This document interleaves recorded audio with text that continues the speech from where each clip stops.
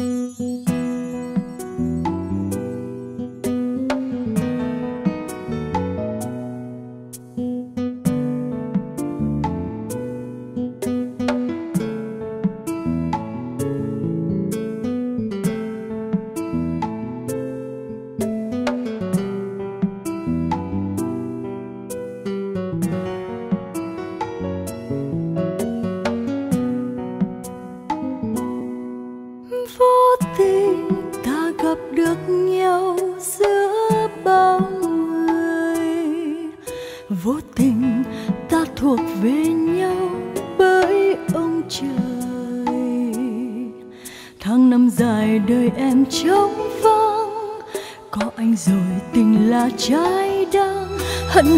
Trong tim theo nước mắt em gội xóa ưu phiền.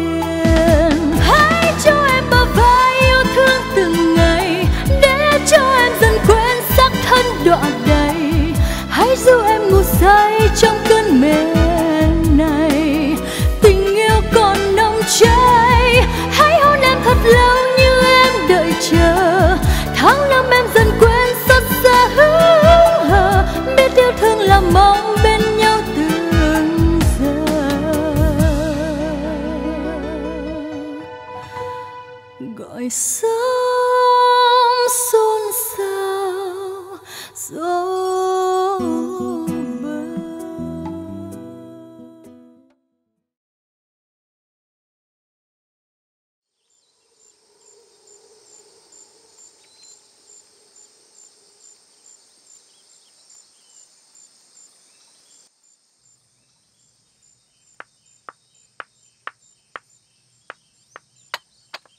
Dạ con mời cha mời má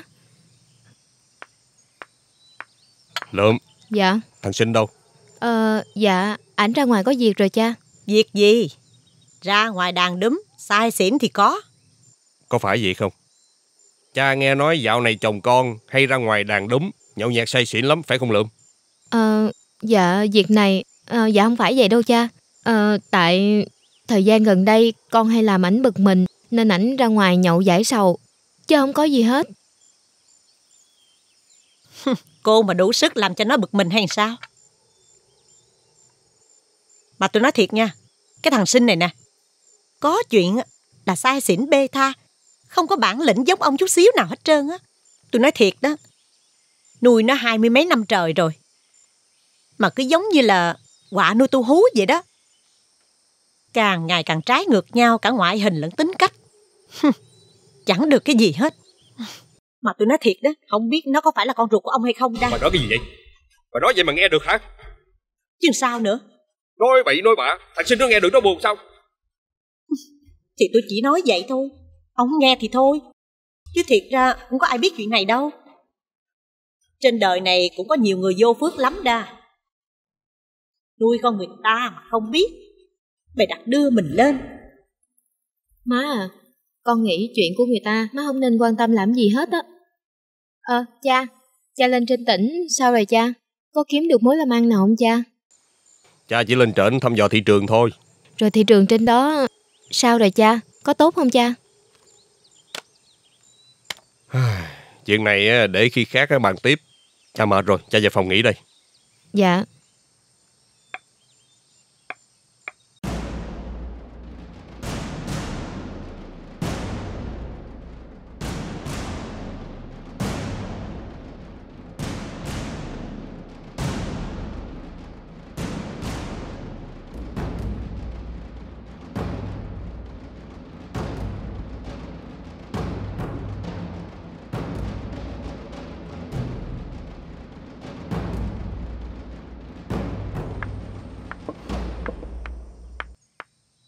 Tôi nói cho bà biết Bữa sau mà bà còn ăn nói hàm hồ trước mặt cha như vậy Thì tôi sẽ tung hê cho mọi người biết bí mật của bà. Mày biết được cái gì mà mày nói? Chính mình cũng ngoại tình Mà không nói Lại đi nói chuyện người khác Làm sao? Bà tưởng không ai biết chuyện bà làm sao. Ở nhà này ai cũng biết Chẳng qua là người ta không thèm nói thôi Là phụ nữ đã có chồng Mà lại ăn nằm với trai. Đằng này á Chính con rể của mình mình lại tằng tiệu. Thật là gớm ghiếc Tởm lợm. Mày Tôi sao? Tôi nói đúng quá mà đúng không? Mày giỏi lắm. Tôi phải giỏi Tôi phải hay. Tôi mới đấu lại con cáo già quỷ quyệt như bà chứ. Tôi nhắc lại cho bà biết. Từ nay nếu bà còn đá động đến chuyện má hai và anh sinh trước mặt cha nữa, Thì bà đừng có trách tôi.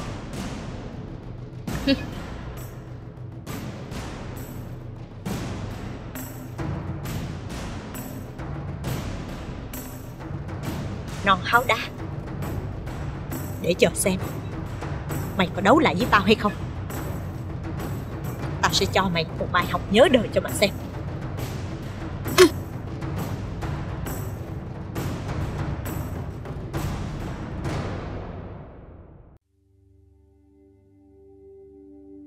Không phải là con của cha đúng không?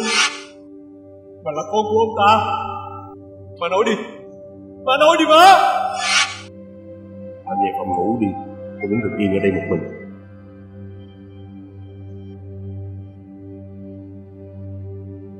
Bởi vậy cứ đàn bà gì mà lắc loạt trách hết. Cái thứ đó hả tôi nghĩ là là nên chết đi. Chết đi cho rồi sống làm gì cho mang nhục vậy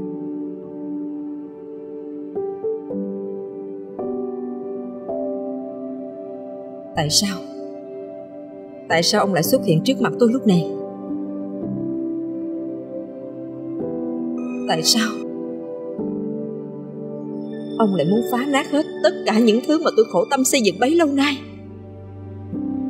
Ông đã cạn tình thì đừng trách tôi cạn nghĩa.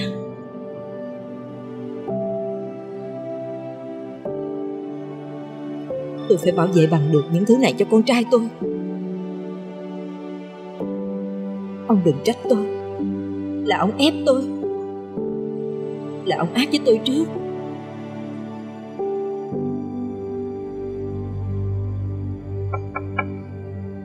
Vô đi Dạ, thưa bà, có một người đàn ông nhờ con đưa mảnh giấy này cho bà. ừ. Dạ.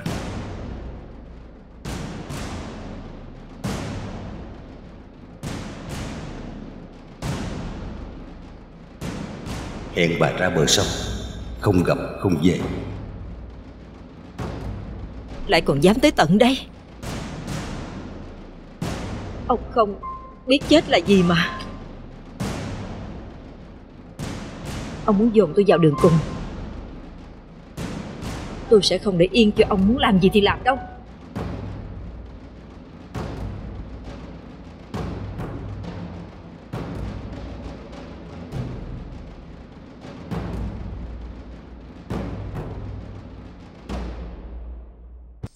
Mấy hôm nay thằng sinh sao rồi bà? Chuyện đó thì có liên quan gì tới ông? Tốt nhất ông đừng bao giờ quan tâm gì tới con trai của tôi hết đó. Nhưng mà thằng sinh cũng là con trai của tôi. Cha quan tâm đến con là không có gì mà sai trái hết.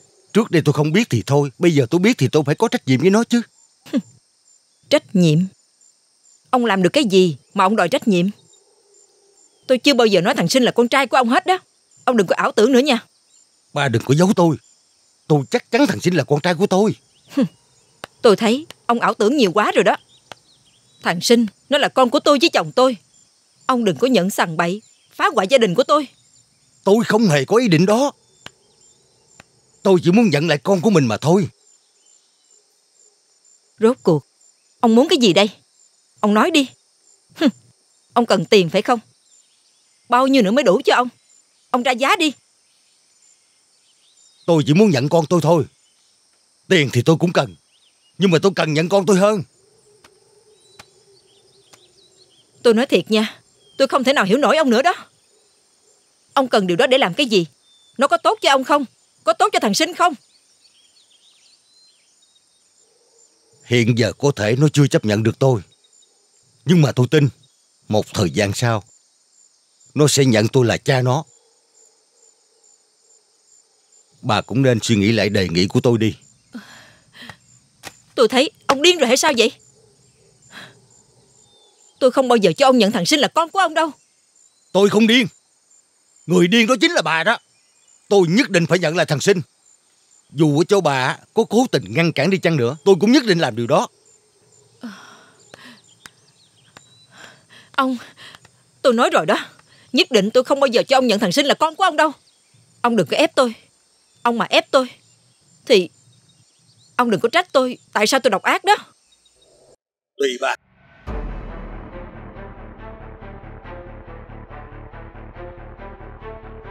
Cái này Là ông ép tôi thôi. Ông đừng trách tôi độc ác nha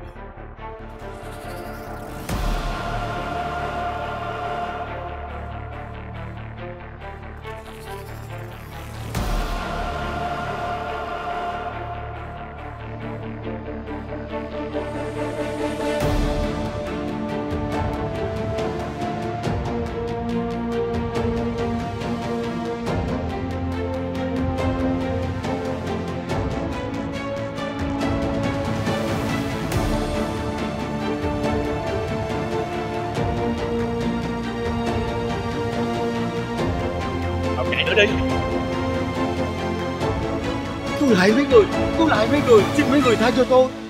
Tôi có tội tình gì thì mấy người cũng tha cho tôi đi. Mấy người cần tiền thôi chứ gì. Tôi có tiền tôi có tiền. Con của tôi Con của tôi là con Con của ông hội đồng thanh. Nó có nhiều tiền lắm. Nó sẽ đem tiền tới đưa cho mấy người. Buộc tôi mà Tôi lại mấy người Tôi lại mấy người. Tôi lại mấy người. Tha cho tôi. Ông cho chổi xong tôi. chưa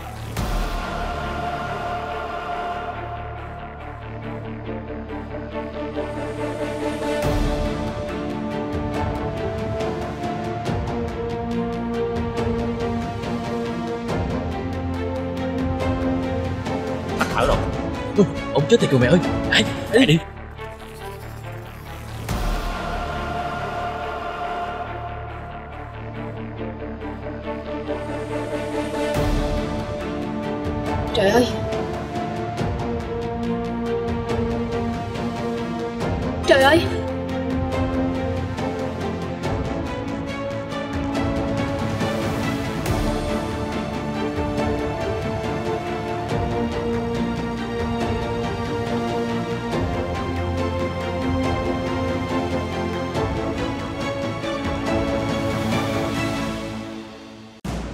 Ông ta đã chết rồi phải không? Bà yên tâm Tụi này mà ra tay rồi á Thì ai mà sống nổi? Được rồi Cầm tiền và đi đi Nhưng nhớ phải giữ kín bí mật này ra Bà cứ yên tâm đi Tụi này làm ăn trước và rất là uy tín. Làm gì thì không biết Nhưng mà tụi này đã nhận tiền của người ta rồi á Thì không bao giờ để lại dấu vết nào hết á. Đi đi. Dạ. Ê mày, đi mày. Ừ, đi. Của mày nè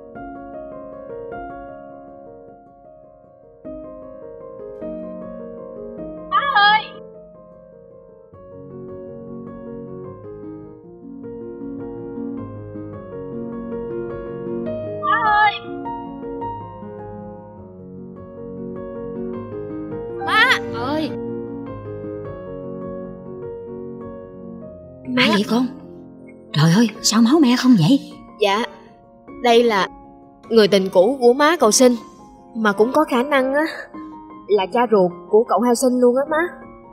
Nhưng mà tại sao lại ra nông nổi này vậy? Con cũng không biết nữa. Con nghĩ là chắc là bị ai trả thù Hay là thủ tiêu vì lý do gì đó. Nè, hồi nãy con nói là cha ruột thằng sinh phải không? Dạ. Trời ơi, chuyện đó có thiệt không? Hay là nói tầm bậy đi? Trời ơi con cũng không biết nữa. Hôm bữa con có nghe má của anh sinh với ông ta nói như vậy Rồi bây giờ mình tính sao với ổng đây? Không lẽ để ổng nằm đây? Bây giờ chắc phải để ông ở đây quá Chăm sóc vết thương cho ông đã Con thấy ông bị nặng lắm Bây giờ má nghĩ vậy nè con. Dạ Con khoan đi ngồi xuống đây nghe má nói nè. Theo ý của má là bây giờ gần nhà mình có cái chòi bỏ quan. Dạ Rồi bây giờ con chỉ cần băng sơ cho ổng đi. Rồi đem ổng ra ngoài đó. Để mình tiện bề chăm sóc cho ổng. Và cũng che được ánh mắt của mọi người. Chứ trời ơi để ổng ở đây không có được. Người ta đi qua đi lại người ta thấy một cái á, người ta đồn tầm bậy tầm bạ là chết nữa đó con. Con thấy má nói vậy cũng đúng á Ừ, vậy má phụ với Đem con. ông xuống hả má Ừ đi. Để má phụ cho. Ừ, cố lên con. Ừ, đi đi.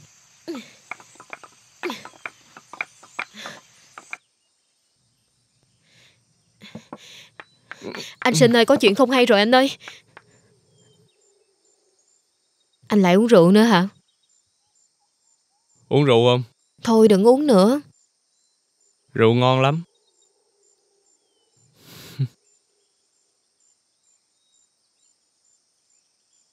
Chuyện cha ruột của anh Anh có muốn Cô uống với tôi một ly nha. Rượu này ngon lắm. Rất là ngon.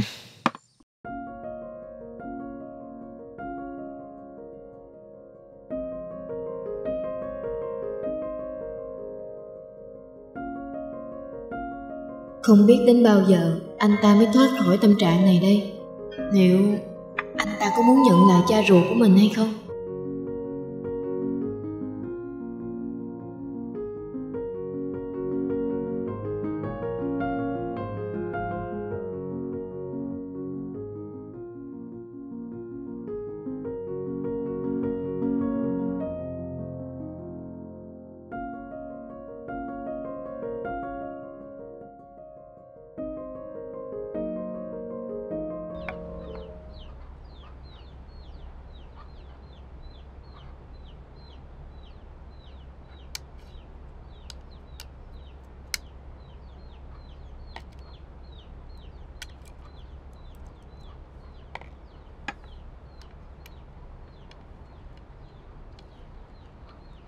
Xong chưa Sen Dạ dạ sắp xong rồi mợ.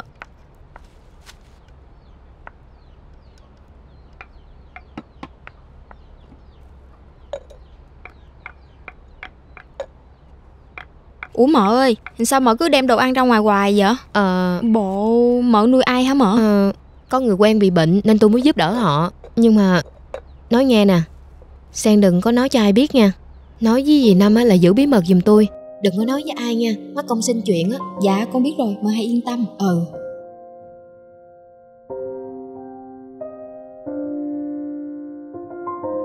Được rồi, cảm ơn Dạ. Sen nha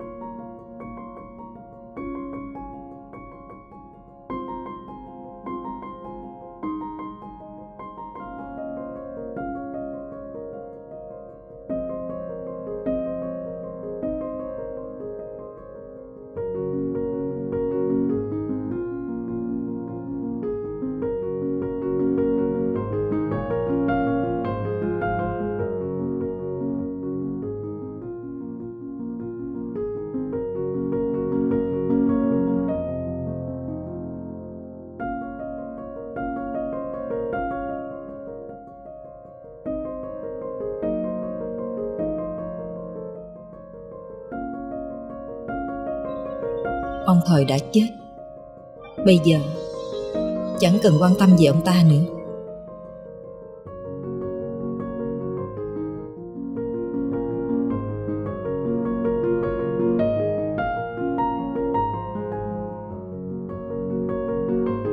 Vẫn còn nhiều người biết được bí mật này.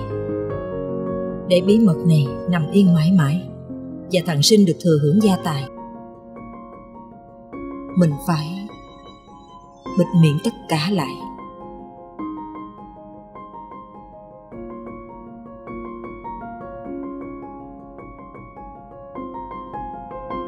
Tôi không cho phép bà đe dọa con trai tôi. Ai biết bí mật này Đều phải câm họng mãi mãi.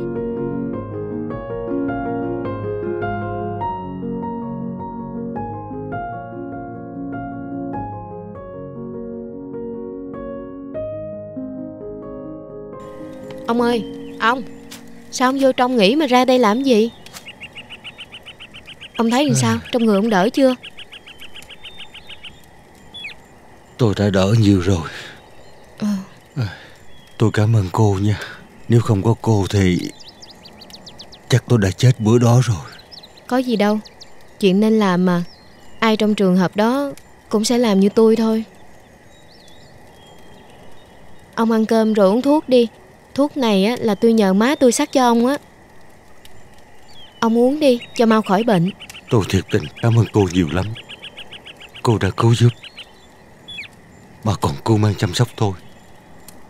Trên đời này Không phải ai cũng tốt như cô. Có gì đâu Ông cứ thoải mái nghỉ ngơi đi. Đừng có bận tâm ba cái chuyện ân nghĩa gì đó.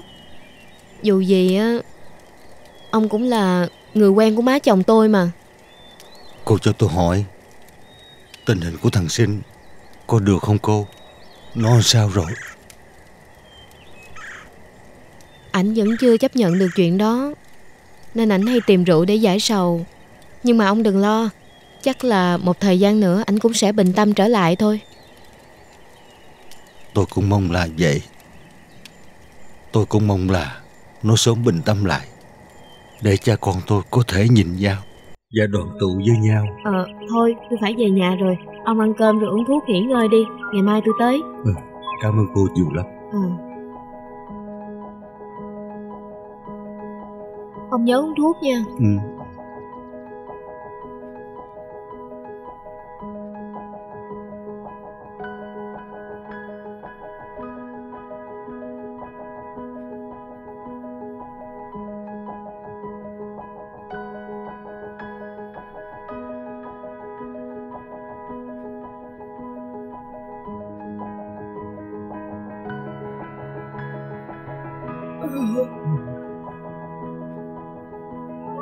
Ở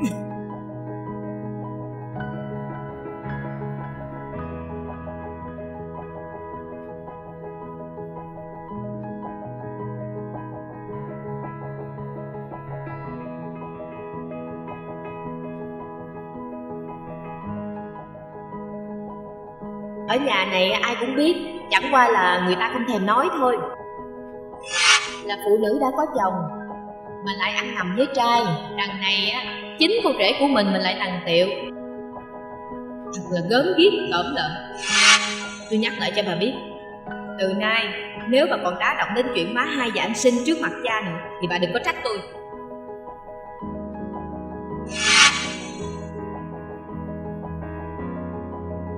Không được. Nó còn sống ở trên cõi đời này ngày nào, Thì mình sẽ mất ăn, mất ngủ ngày đó. Phải nhanh chóng trừ khử nó Để ngăn chặn hậu quả. Mày dám uy hiếp tao hả? Ranh con. Tao sẽ không để cho mày được yên đâu.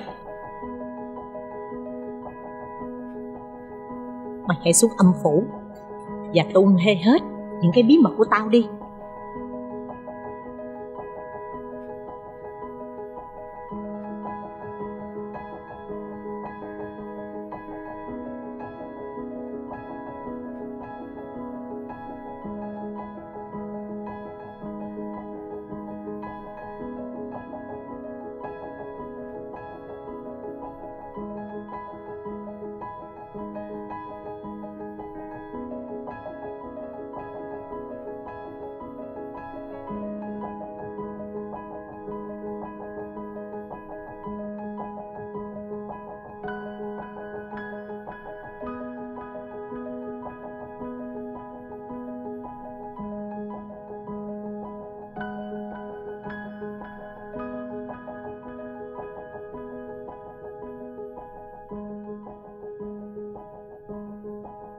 Thì ra là chú ở đây hả Làm cho tôi mấy ngày hôm nay đi tìm chú khắp nơi đó.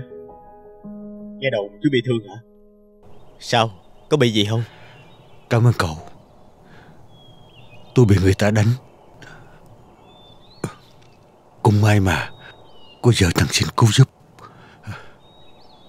Không thì tôi đã chết rồi. Chú như vậy là mạng lớn lắm đó. Rồi chú có cần thuốc men Hay là thức ăn hay nước uống gì không? Tôi mang tới cho chú. Thôi Tôi không cần đâu. Có Có cô lượng. Lo cho tôi chú đáo lắm rồi. Cảm ơn cậu. Ừ vậy cũng được. Khi nào cần gì á thì nói với tôi. Tôi mang tới cho chú. Cảm ơn cậu. À Mà chuyện tôi tới đây gặp chú. Chú đừng có nói cho ai biết nghe. Kể cả cô Lượm nữa Tôi không có muốn mọi chuyện rắc rối thêm. Tôi tôi biết rồi. Cậu cậu cố gắng giúp tôi. Coi tình hình của thằng sinh Là được rồi. Cậu cố gắng giúp tôi. Tôi cảm ơn cậu nhiều lắm luôn. Được rồi. Tôi sẽ cố gắng giúp chú. Thôi tôi về nha. À, Cảm ơn cậu. À, à, Cậu. Được rồi. Để lần sau tôi sẽ tới Dạ dạ dạ. Nhớ cái cậu.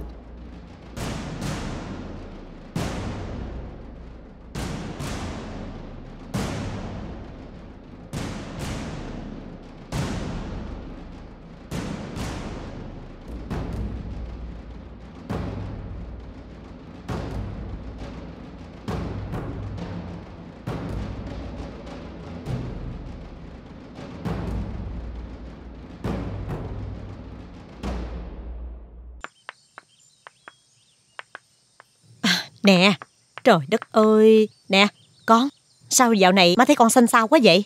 Có chuyện gì phải không? Cảm ơn má đã quan tâm. Tại vì con mặc áo xanh nên mặt con xanh thôi. Không, má thấy mặt con xanh thiệt mà. Chết rồi, có khi nào con bệnh không? Hay là má má kêu thầy thuốc tới khám bệnh cho con nha. Thôi được rồi, cảm ơn má. Khi nào con thấy không khỏe, con sẽ tự đi kiếm thầy thuốc. Con còn giận má chuyện hôm bữa phải không? Má biết lỗi của mình rồi. Má đúng là hồ đồ, không biết suy nghĩ thiệt mà. Nhưng mà con đừng có gì chuyện đó mà con giận má nha. Thôi được rồi, má không cần phải làm như vậy đâu. Cũng không cần phải lo lắng gì hết á. Nếu như mà má không nói ra những chuyện mà má không nên nói á, thì con đây cũng không có mắc mớ gì nói chuyện của má cho mọi người biết. Ờ, Má cứ yên tâm. không, cái này là má má quan tâm tới con. Má thật sự thấy má có lỗi, chứ đâu phải chuyện chuyện Được rồi, sao cũng được hết á. Nếu như mà má nhận ra má có lỗi á, thì càng tốt.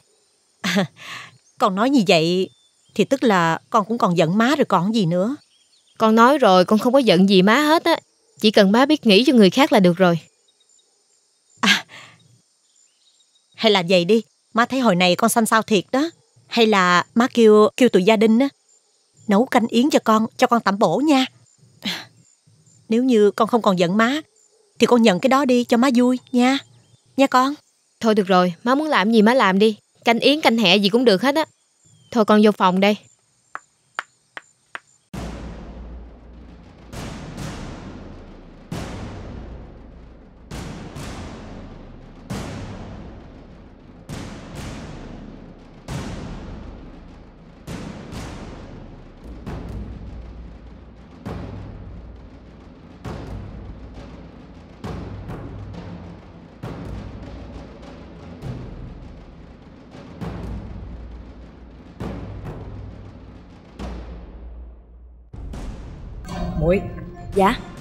Ờ, muội nè. Nghe nói là mợ hai mày bị bệnh đó nghe. Bây giờ mày đi xuống bếp nấu cho mợ hai mày một chén yến để cho mợ hai mày tẩm bổ nghe chưa? Đi đi. Dạ. Ừ, con sẽ đi xuống bếp á, con nấu yến cho mợ hai tẩm bổ liền, thưa Ừ. bà. Làm lẹ đi nghe chưa?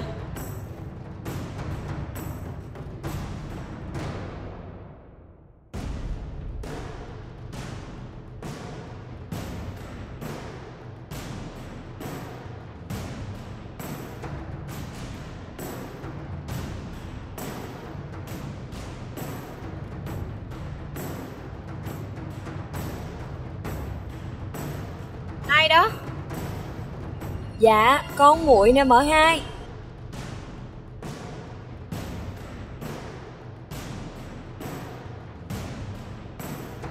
Ủa Cái gì vậy muội? Dạ Bà cả sai con á Trưng tổ yến mang qua cho mợ hai tẩm bổ. Tôi không ngờ Má lớn lại tốt với tôi như vậy. Gửi lời cảm ơn của tôi tới má lớn nha Dạ um, Bà dặn á là mợ hai ăn liền đi cho nóng Nó mới tốt Dĩ nhiên là ăn liền rồi.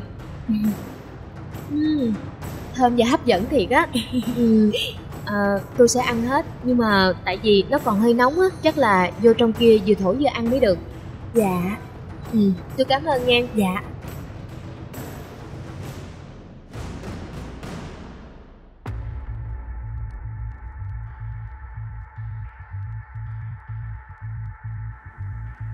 Độc dược lúc nào mà chẳng thơm ngon Cô cứ từ từ mà thưởng thức chén canh đó.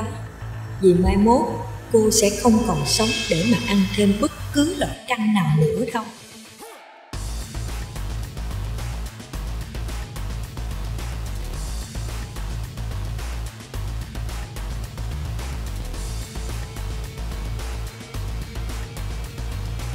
Tôi sợ tôi ăn xong chén canh này á, Tôi sẽ không còn được ăn bất kỳ các loại canh nào khác trên thế gian này nữa. Tin bà hả? Tôi không nghĩ là bà tốt với tôi như vậy đâu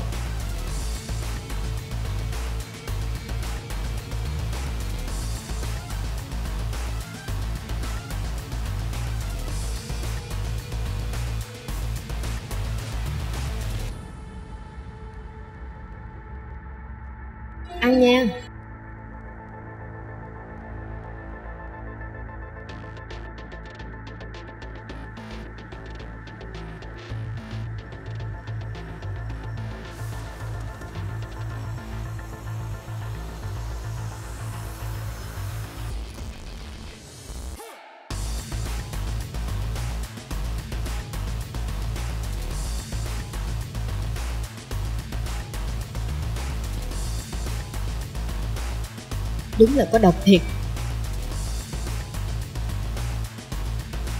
Bà cả Bà đúng là đáng sợ. Bà muốn trừ thử tôi hả? Tôi sẽ không để cho bà muốn làm gì thì làm đâu.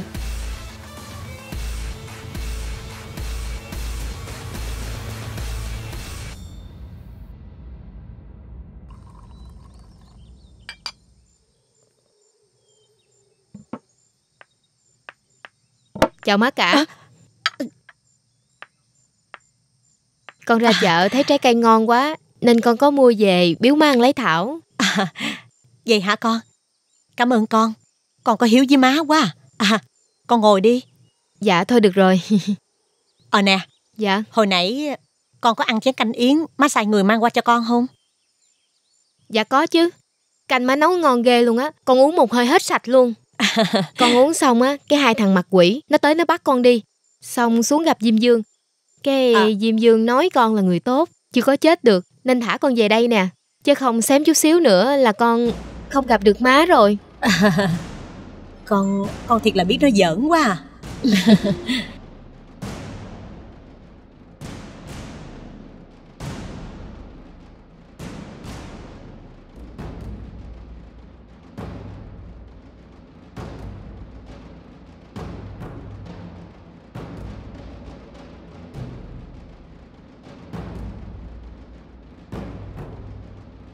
Bà tưởng tôi rảnh rỗi tới đây chơi với bà hả? Tôi tới đây để cảnh cáo bà. Tôi chứ không phải ai khác đâu, Mà dễ bị bà lừa và hãm hại. Bà mà giở trò với tôi một lần nữa, Thì tôi sẽ phơi bại tất cả những bí mật của bà cho mọi người biết á.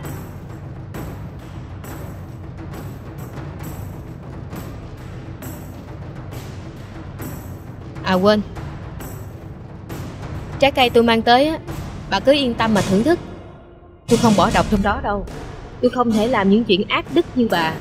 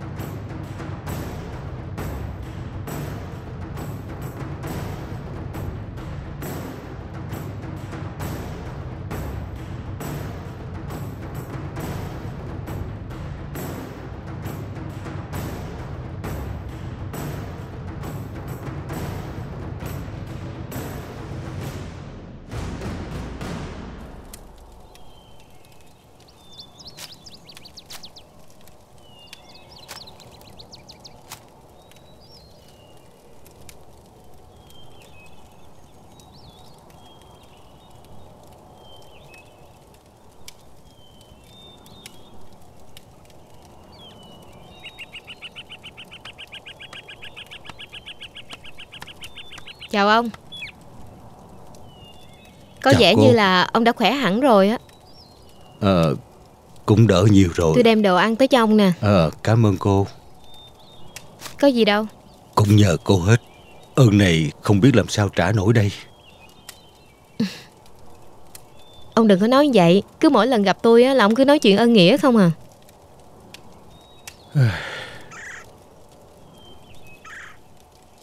Tôi mang cơm cho ông lần này chắc là lần cuối Tôi cũng nghĩ như vậy.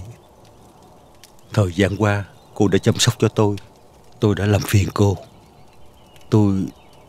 Tôi thấy ngại quá. Ông lại vậy nữa rồi Ờ Ông đã nghĩ ra Ai đã ra tay sát hại mình chưa Ừ, tôi không biết là ai đã hại tôi nữa. Ông cứ suy nghĩ thử coi Trong thời gian qua Ông có xích mích với ai không Hay là có ai đe dọa hay hăm he gì ông không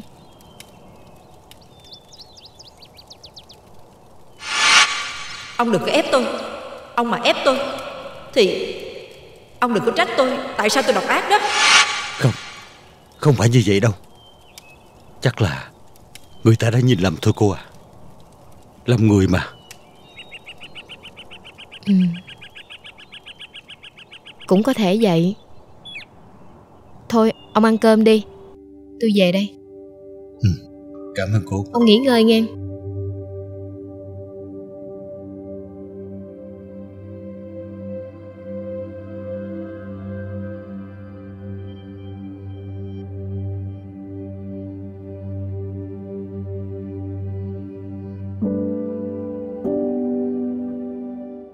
Ông thật sự không biết Ai là hung thủ hại ông sao Thật ra thì tôi cũng có nghĩ tới một người. Nhưng mà tôi nghĩ chắc không phải đâu. Người đó không dám làm như vậy đâu.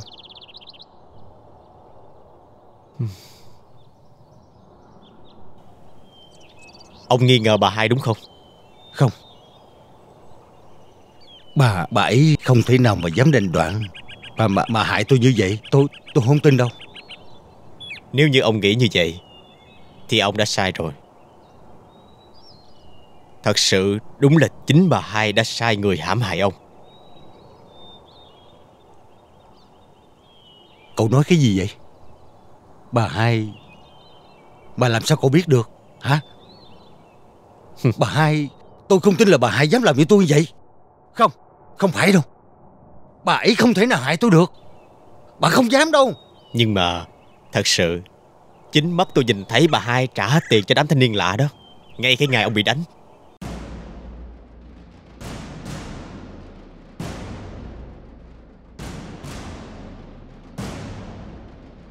Tôi không tin.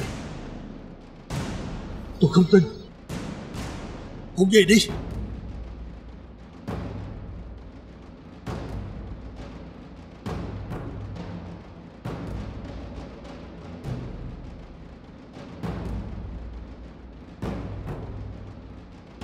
Thuộc đây Tôi không tin đâu. Cậu đi đi.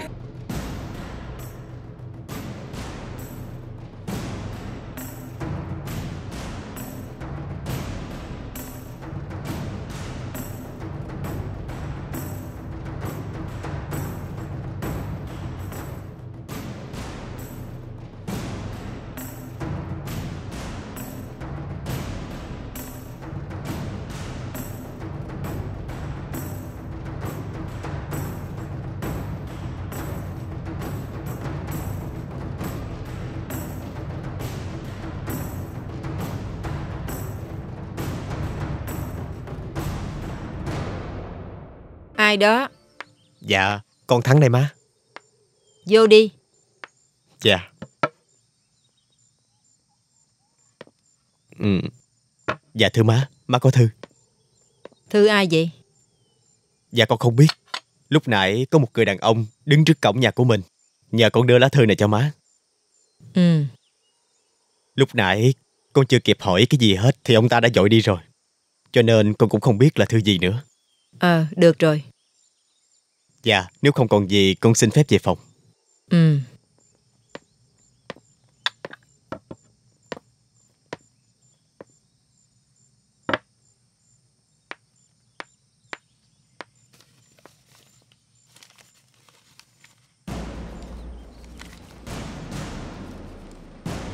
Tôi chưa chết. Bà hãy ra gặp tôi. Nếu không Bà đừng trách tôi vô tình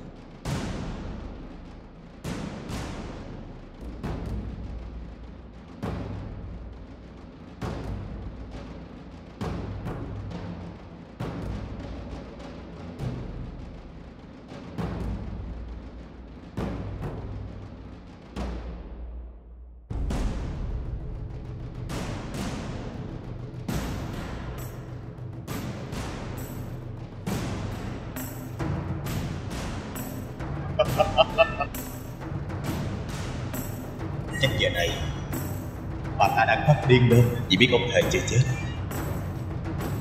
Nhớ kịch cơ bộ ngày càng